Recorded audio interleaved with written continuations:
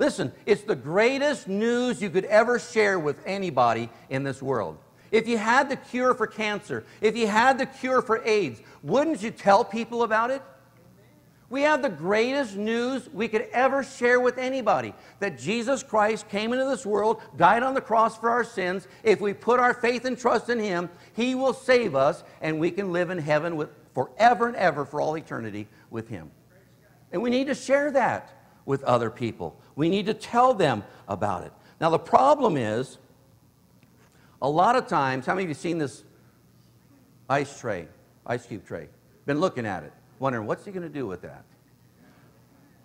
I had another tray that was filled with ice, but they needed it yesterday, so I, I got to improvise this morning a little bit.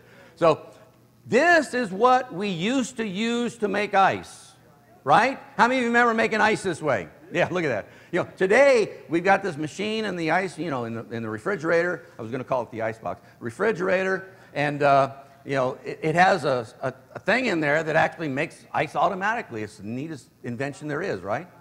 But before, what did we have to do? We took this tray, we would go to the sink, we'd fill it with some water, right? And then we'd stick it in the refrigerator, in the, in the freezer, and then we'd wait for it to get frozen, you know, and then we'd, we'd use the ice. This is what we're like a lot of times when we are sharing Christ with others. We're like ice cubes in the tray. When we have water put in the tray, what happens? It just gets molded to each one of these. It just forms to each one of those openings, doesn't it? It just kind of molds right to it. And that's good for the beginning.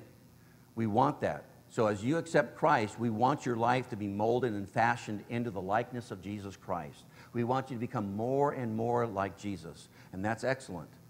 But over time, what happens is things change. Just like the water that's put in an ice cube tray, you put it in the freezer, what happens? It changes, doesn't it?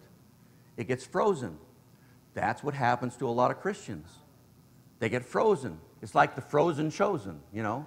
They, they, they're immovable. Before, very fluid, you know, they were excited about going to church. They'd worship God. They'd study their Bible. They were excited about sharing Christ with each other and everybody that they knew.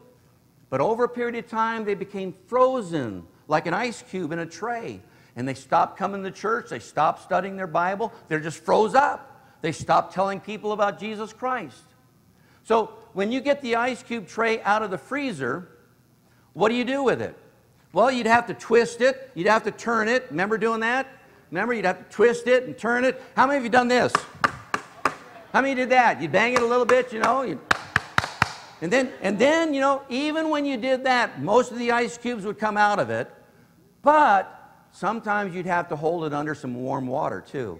How many of you did that? Hold it under the warm water, and then you'd be able to pop the rest of it out of there. Well, that's what God does to us when we get frozen up as Christians and we're not doing what He wants us to do. He'll get into our life and He'll bang us around, you know, come on, come on, get this, come on, come on, get with the program here, you know. And then, and then he'll put us under some hot water. You know, he'll Christians don't change when they see the light. They change when they feel the heat from God. Right? Isn't that right? So God puts us in some hot situations, and all of a sudden, what do we do? We start thawing out. We start loosening up. And we come pop, come right out of that ice cube tray. What good is an ice cube that is continually in a tray? Does it do any good in the tray? Listen, you, you try to get the ice cube out so it's usable. Amen? That's what you want. You want to get it out of the tray so it's usable. I want to get you out of that seat so you're usable. That's why I do what I do, you know. I'm trying to twist you and turn you and, you know, ah, you know, put the heat on you and you know, try to get you loosened up here. Come on, let's get busy. Let's do what God wants us to do. And the Holy Spirit does that in our life. And He puts us in some hot situations to be able to get loosened up and thawed up for Him. How many of you like, here's, here's a kind of a interesting question, I think. How many of you prefer ice cubes over crushed ice? How many of you like crushed ice instead of ice cubes? How many of you like crushed ice? Oh, there's nothing better than crushed ice. Right? Crushed ice with a Coke? There's nothing better than crushed ice with a Coke. I'm telling you, crushed ice is the best. In my opinion, you Ice Cube people, you don't know what you're missing. Here's the thing God prefers crushed ice. There you go. He prefers crushed ice. Here's why I say that. What he does is he puts us under the pressure and he crushes our will. He crushes our heart. He crushes us to bring us under submission to him. He puts us in those kind of under pressure to be able to get us to the point to where we're usable for him.